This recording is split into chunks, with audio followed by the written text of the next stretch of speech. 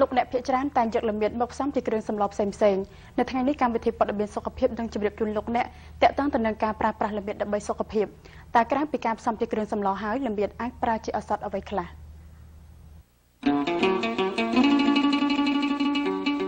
ប្រជាពលរដ្ឋជាច្រើនតែងយកលមៀតមកធ្វើជាគ្រឿងទេសផ្សេងផ្សេងដើម្បីបង្កើនរសជាតិសម្លឲ្យកាន់តែឆ្ងាញ់ពិសាទៅតាមចំណង់ចំណូលចិត្តក្រៅពីធ្វើជាគ្រឿងម្ហូបបានហើយលមៀតដែលអាចធ្វើជាឱសថ ដែលមានប្រសិទ្ធភាពខ្ពស់ក្នុងការព្យាបាលជំងឺបានទៀតផង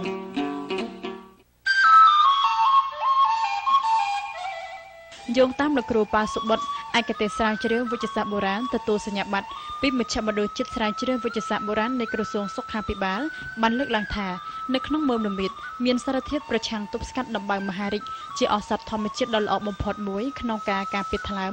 ជួយស្ដារសមត្ថភាពថ្លើមឲ្យខ្លាំងឡើងវិញរមៀតឬល្មៀតជារុក្ខជាតិដែលគេស្គាល់ថាមានសារធាតុប្រឆាំងនឹងរ៉ាឌីកាល់សេរី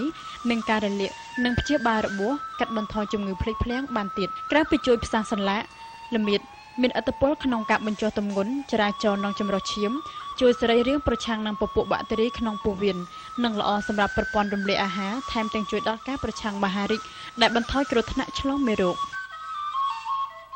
តាមការស្រាវជ្រាវបានបង្ហាញថាមើមល្មៀតជួយបង្ការគ្រោះថ្នាក់មហារីកពោះវៀនលោកអ្នកអាចយកល្មៀតហាន់ជាចំណិតចំណិតស្ដើងស្ដើង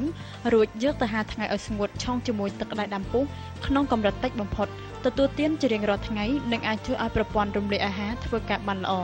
ហេតុផលនេះនៅពេលដែលលោកអ្នកមានអាការៈឈឺពោះគួរផឹកល្មៀតតែមួយកែវនឹងទទួលបានលទ្ធផលជាក់ជាមិនខានបន្ថែមលើនេះល្មៀតអាចជួយបង្ការជំងឺបេះដូងដែលអាចកាត់បន្ថយកូលេស្តេរ៉ុលគ្រោះថ្នាក់ក្នុងឈាមនិងមានលទ្ធភាពប្រឆាំងតបជំងឺក្រិនរឹងសរសៃឈាមដោយមើមល្មៀតចំពោះអ្នកដែលជក់បារីគួរតែទទួលទានសម្លដែលមានល្មៀតជាគ្រឿងផ្សំ ព្រោះអាចបន្ថយគ្រោះថ្នាក់ដោយការជក់បារីបានដែលឡែកបើយោងតាមលទ្ធផលស្រាវជ្រាវរបស់មហាវិទ្យាល័យសង្ហបុរីរកឃើញថាសិស្សដែលទទួលទានសម្លផ្សំជាមួយល្មៀតជាប្រចាំនិងម្ដងម្កាលអាចធ្វើវិញ្ញាសាប្រឡងបានល្អជាងអ្នកដែលមិនញ៉ាំសោះជាងនោះមនុស្សវ័យចំណាស់ជនជាតិឥណ្ឌាដែលទទួលទានសម្លផ្សំពីមើមល្មៀតមានជំងឺភ្លេចភ្លាំងតិចជាងមនុស្សចាស់នៅសហរដ្ឋអាមេរិកដល់ទៅ4ដងសារធាតុ curcumin ក្នុងល្មៀតក៏អាចជួយសម្រាលអាការៈរលាកសន្លាក់បាន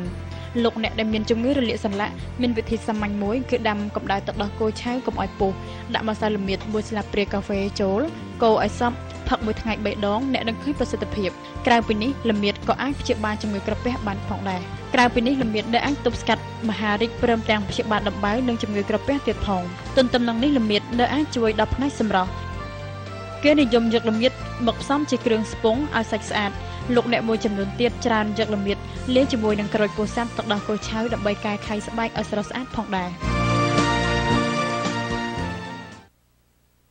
ចាក្រៅពីលោកអ្នកបានទស្សនាពីសារៈប្រយោជន៍របស់ល្មៀតរួចហើយសង្ឃឹមថាលោកអ្នកនឹងងាកមកទទួលទានសម្លដែលមានគ្រឿងផ្សំជាល្មៀតបានច្រើនដើម្បីកាត់បន្ថយគ្រោះថ្នាក់ផ្សេងផ្សេងចាហើយចំពោះប្រជាកសិករវិញពួកគាត់អាចដាំល្មៀតបានច្រើនដើម្បីផ្គត់ផ្គង់ជីវភាពគ្រួសារក៏ដូចជាដើម្បីសុខភាពផងដែរ